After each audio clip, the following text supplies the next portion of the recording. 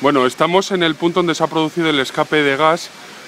Esto es la plaza de toros y ahí podéis ver perfectamente cómo están echando agua porque el escape se ha producido justo al lado de un edificio de viviendas antes del puente de San Cristóbal. Así que por si acaso han echado bastante agua, están echando ahora mismo bastante agua para evitar que se filtre más gas.